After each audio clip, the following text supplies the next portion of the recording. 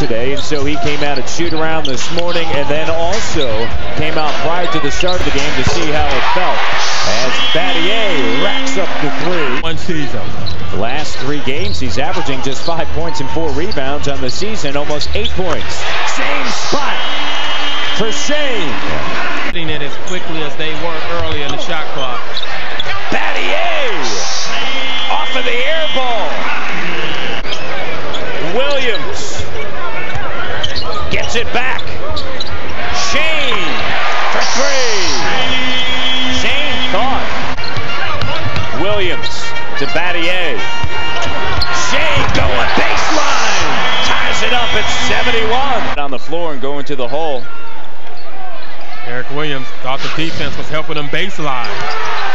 Walker beats Batiste to his own miss. Person taps it out.